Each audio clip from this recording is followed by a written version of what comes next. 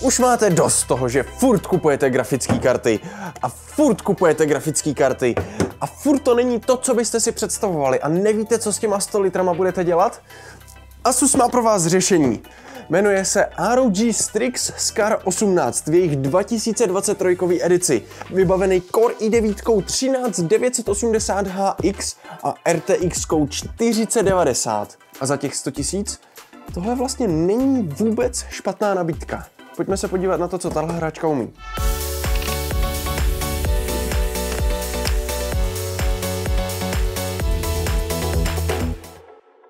to balení toho notebooku je samo o sobě vlastně docela pěkný, že to je takový nestandardní, protože normálně dostanete takový hodně sterilní krabice, kde toho vlastně zase tak moc není. Takže v porovnání s tím je minimálně ukázka toho, že hej, máme zájem o alespoň trošku umění. To je, to je fajn změna. Co se týká potom zbytku toho zařízení, až ho budete otevírat, pro boha, buďte opatrní. Asus na tohle to sice myslel. Dokonce vám tady dali i návod, jak se to vytahuje, protože vy jakmile vytáhnete krabici s notebookem, tak na vás ten notebook automaticky čeká. Co teda musím ocenit je i způsob, jakým se dostane z té krabice, protože vy vysunete tuhle část a notebook automaticky trošku povyjede nahoru. To je hrozně cool. Samozřejmě vás přivítá nějaký další artwork. Jestli víte, z jaký hry tohle je, klidně mi to napište dolů do komentářů. Jinak, co se zbytku balení týká, najdete tady jako klasicky nějaký brožury s návodama a nabíječku. Tenhle adapter není nejmenší, ale zároveň vzhledem k tomu, jaký vnitřnosti se v tom notebooku skrývají, není překvapením, že tohle je 330W kostka. Nějaký brožury, tohle zbytek krabice, tak a to je vlastně Welcome to the Geomon City. QR kód. You got busted. Jo, pozor, to je nějaký filtr na Instagram, který jsem si právě stáhnul. No way. Čum na to. And it's gone. Nejdůležitější ze všeho je ale samozřejmě ten notebook jako takovej. Přivítá vás tenhle ten 18-palcový macek, který v sobě má už jednou zmíněnou i9 13980H, Nvidia RTX 4090 a tohle monstrum je schopný brát si až 250 W pro ten vůbec nejlepší herní zážitek, který v takovémhle šasi dokážete někde sehnat. A to mimochodem, šasi znamená zhruba 3,8 cm na šířku. Absolutně šílený. Když už teda jsme u šířky, pojďme se podívat na konektory. Vlevo najdeme jeden kombinovaný 3,5 mm jack, 10 gigabitový C s podporou DisplayPortu, Thunderbolt 4, HDMI 2.1, 2,5 gigabitovou síťovku a jack pro napájení. Samozřejmě tady jsou ventilátorové šachty, stejně tak jako vzadu, kde...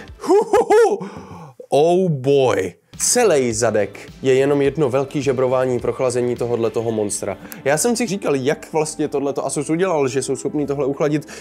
Už jsem asi přišel na to jak.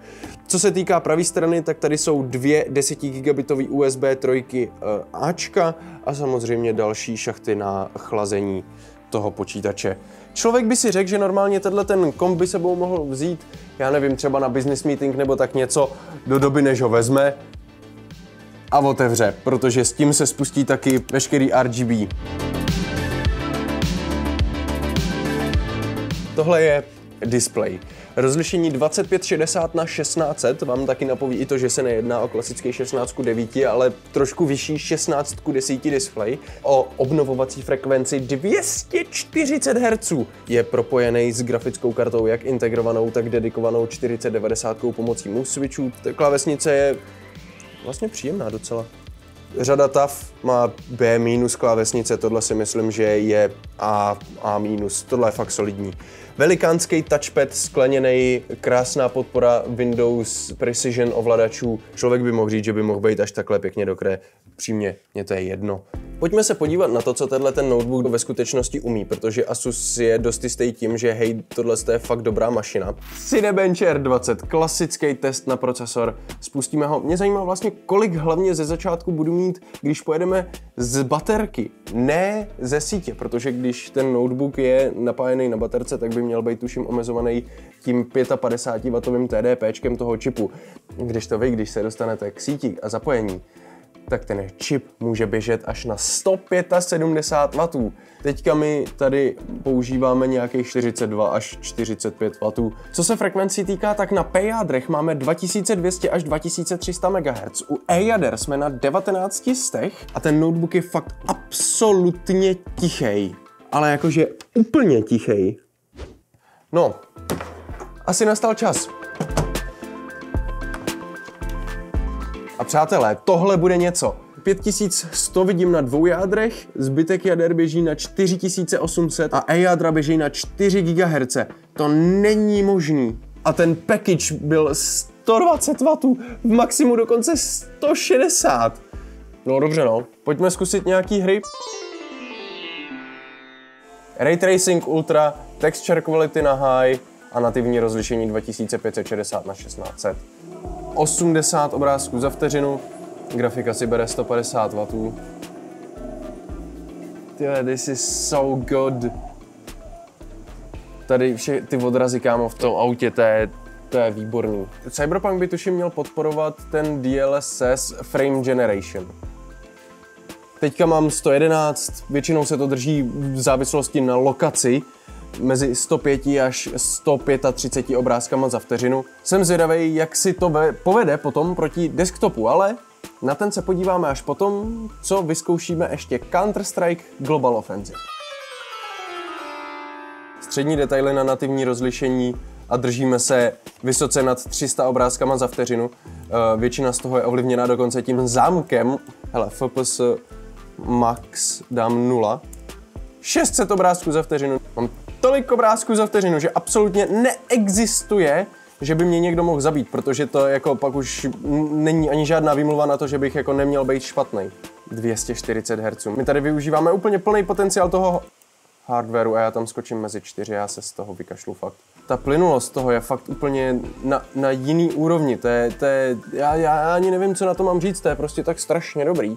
Není to takový rozdíl proti 140, který používám já, ale už jenom fakt, že hej, je to prostě notebook a je to plynulý a je to dobrý, tohle je jiný svět, přátelé. Ah! Nejvyšší možný nastavení na nativní rozlišení 160-170 W. Neuvěřitelný, co to dělá s tím notebookem. Nutno teda podotknout, že jedna z věcí, které je trošku slyšet, je Coilwine, ale wow, na ty nejvyšší detaily máme 120 obrázků za vteřinu. U 3Ačkového titulu. To je úplně stupidní, ale totálně. Já úplně žeru, jak tahle ta hra vypadá, ale zároveň i to, že ten notebook v tuhle chvíli bere minimálně 200 W, jo? A jsem přes něj docela normálně slyšet, to snad není pravda. To není možný. No to nemám moc co říct, no, prostě to je, to je dobrý. To je zkrátka dobrý. Jdem se podívat na ty disky. Já chci vědět to diskový pole, jak je rychlý. Crystal Disk Mark, celý pole v RAIDu 0. Já se úplně bojím toho, co tam uvidím za čísla. Kámo, ty vole, 10700! 11 giga, kámo. Tohle, kdybych chtěl přenášet po síti, tak potřebuju 100 gigovou síťovku. Ty disky jsou zapojený do RAIDu 0, to znamená, že Každý bit informací mezi těma diskama je přidělovaný jednomu disku, tak aby se zkrátka rozdělila ta zátěž mezi dva, díky čemuž automaticky se může využívat výkon obou. Průser je v tom, že když jeden disk umře, přijdete o všechny data. Ale this is fast! 6200 mega na zápis. To vlastně není tolik. Já bych upřímně čekal, že by tam bylo něco kolem 8 až 9 tisíc mega, to znamená 8-9 giga za vteřinu. Stále se bavíme o extrémních rychlostech, 6200. Jestli si tohle to kupujete na hry, tak budete mít fakt velký problém použít všech těch 6000 MB za vteřinu. Pojďme se podívat, co je vevnitř.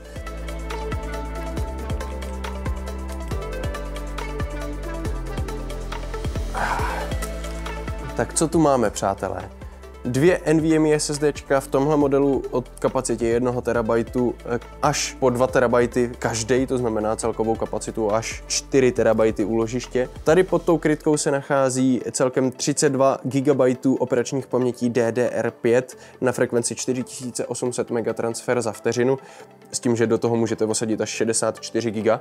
Ho, chladící řešení toho, který je odpovědný za vypouštění do světa těch 250 W. Každopádně, jak je možný, že tohleto skromné řešení jo, je schopný uchladit tohle? Protože na každém čipu Asus použil u tohohle toho notebooku tekutý kov. Reproduktory, mimochodem ten zvuk z nich je až překvapivě fakt dobrý. A to je asi tak nějak všechno, co tady můžeme vidět, no. Zjistili jsme, že disky jsou fakt rychlí, což je super. To se nedá úplně říct teda o webce, ale člověk by řekl, že tímhle s tím vyzkoušeli téměř všechno. Pojďme se ale podívat na to, jak si tohleto monstrum povede proti desktopovému kompu. Já mám totiž desktopovou i9 12900K, RTX 4070 Ti, kompatibilní základovku a odhad, že tenhle ten procesor by měl být zhruba stejně výkonný jako 13700K, což je podle všeho to, co by mělo být ekvivalentní výkonem tomuhle zařízení.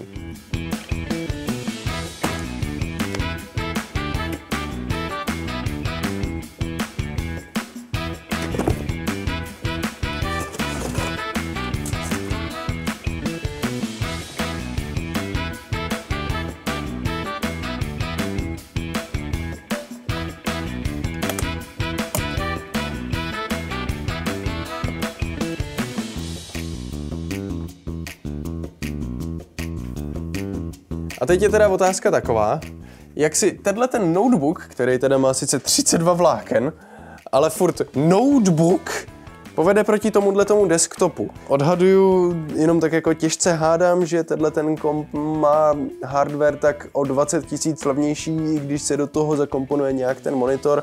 Na druhou stranu, hej, je to furt notebook. Dokážete jednoduše přenášet váš komp? Já ne. Tak, hele, Cinebench R20 spouštím na obou kompech teď. A já upřímně vlastně vůbec nemám tušení, co si od toho jako mám slibovat, protože tohle to má sice novější architekturu, ale tamhle to má neomezený příkon, no, jakože prostě si to vezme tolik energie, kolik bude potřebovat a kolik tomu umožní ten chladič. Ale tohle vypadá, že to má náskok do pytle. To není možný. Kamo, to má 12 000 bodů, to si až Tohle to by mělo mít zhruba 10, no, jakoby 10 249, no. To znamená, že ten notebook v Cinebench R20 má o 20% vyšší skóre než tenhle desktop a ten procesor bylo to nejlepší, co v minulý generaci vůbec bylo k dostání. V minulý generaci! Ještě zkusíme Time Spy. Jestli to bude mít horší FPS, tak já nevím, co udělám.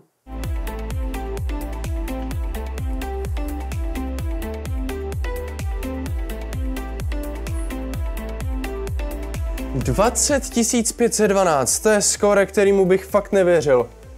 OK, no, tak, tak jo, no, tak, tak dobře. Tak jo. Tak to jsem na ten desktop docela zvědavý.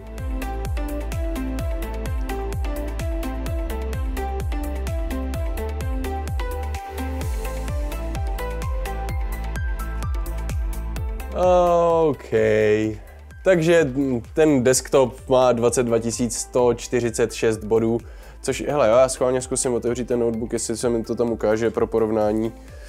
CPUčko mělo 16130, u nás má 19330, 303 a grafika má 21546, zatímco desktopová 4070 Ti má 22 a 3 čtvrtě plus minus. Ale to furt není špatný, je to vlastně to nejlepší, co v tom můžete dostat a je to v rámci dostřelu nějak jakoby takže přátelé, tohleto je notebook, který vám dokáže asi úplně nejblíž přiblížit herní zážitek, který budete mít na RTX 4070 Ti. Když se vezme v potaz to, že TGPčko Týhle grafiky je 175 W, kdežto týhle je nějakých 280, přičemž u hry si bere nějakých 225, musím uznat, že si ten notebook vede skutečně dobře na tohle to se fakt nedá říct, než jenom, že já vím, 100 tisíc není málo peněz, ale na to, co dostáváte,